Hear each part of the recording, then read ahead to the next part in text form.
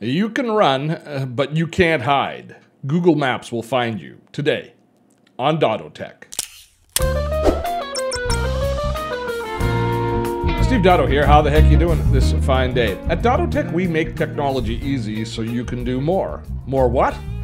Well, you couldn't do a thousand burpees like I did, but that's another story. Today we're going to be talking about Google Maps. You know, Big Brother may not be tracking you, but Google Maps most certainly is. Uh, but before we do, have you yet subscribed to this channel? If not, please, I encourage you to, and while you're at it, ring that notification bell. That way we will let you know when we upload new videos. And today's video is a very important video. You might be a little bit shocked by it. If you're not shocked by it, good for you. It means that you're being very proactive about your privacy but I think a lot of you will be shocked. Google Maps uh, is a wonderful service. It's one that I use. It's changed a lot of things in my life. It's a great service. But we give up a lot of personal privacy when we use Google Maps. And it's not just the privacy we give up, but the information about us that's being tracked, I think, is something that you have to be aware of. I'm not saying it should be a concern or not. What I'm saying is you should be aware of exactly what information is being captured. Now, Google isn't really in the business of sharing the information uh, with the wide world about every one of your activities. Uh, they will actually tell you right here, if you go to their privacy statement, they will spell out chapter and verse exactly how they plan to use your information. And for things like Google Maps, knowing where you are is a real benefit to the overall community. For example, if you are driving along a road and it's taking you longer to go from stoplight to stoplight than normal because of heavy traffic, Google will recognize that fact in maps and then it will redirect other people who are looking to route through that area, recognizing that there's heavy traffic congestion in that area it's a benefit. I think we can all agree that is a very good thing.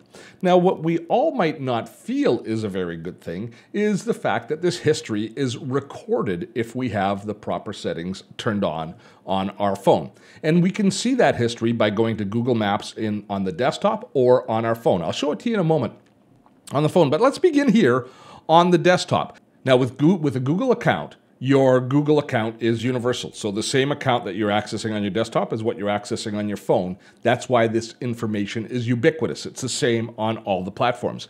And if we go in the maps, underneath the menu item here called Your Timeline. Have you done this before?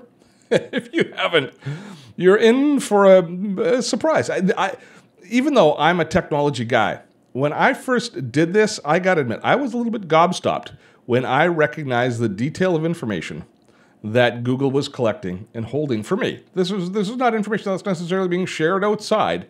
But here I was, March 1st, I was at Social Media Marketing World. And take a look. This is everywhere that I went that day. This is my day laid out in Google Maps. And not only do they have where I was during the day, but they have what time I was at each of these locations and when I left and arrived at the next location.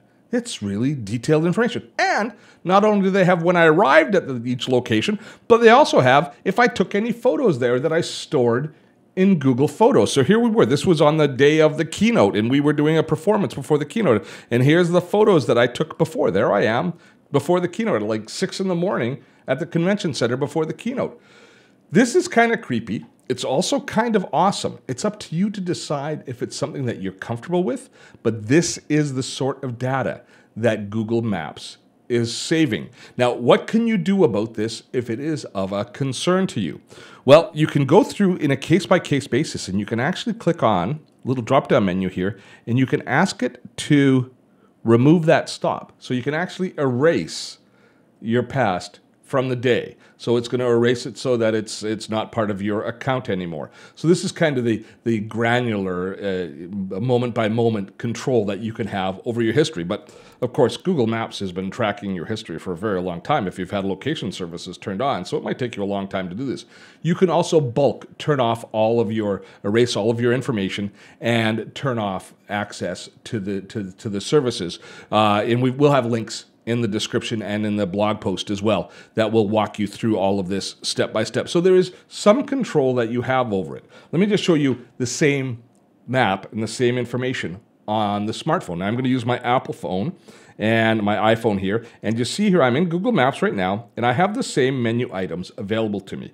I go to my timeline, and shock and surprise, my timeline will give me access to the exact same information. So let's just go to the same date, and there is the exact same information all listed out that you just saw. All the photos that I took at the conference, all of that information is readily here, and I can manage it in the exact same way.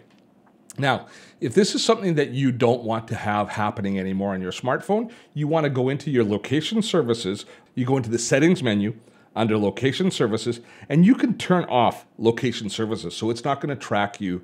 Uh, it, it has doesn't have the ability then to track you anymore. Of course, you're going to lose a lot of functionality if you do that. And this is the trade-off that we constantly have to struggle with, is we have to give up some privacy for convenience or for entertainment or for profit.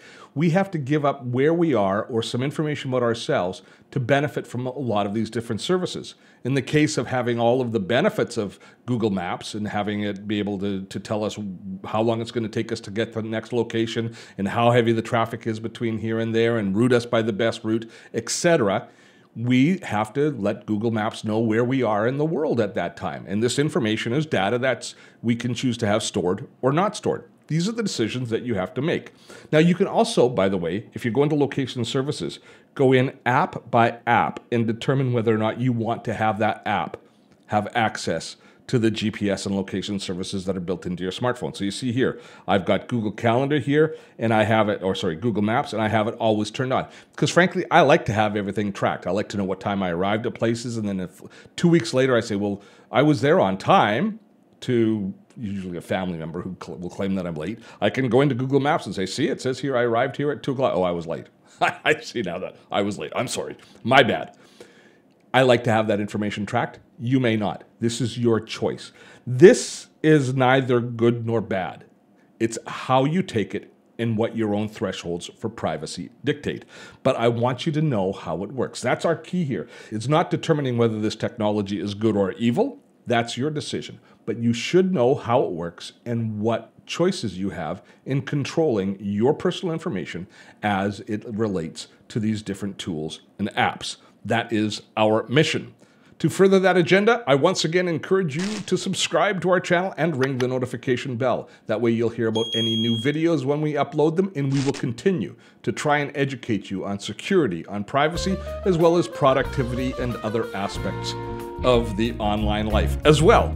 I encourage you to give comments below. Let me know what you want to see more of, what you want to see less of, whether or not you're sharing your location information on Google Maps or whether it is something that is abhorrent to you. Would love to hear your opinion. Till next time, I'm Steve Dotto. Have fun storming a castle.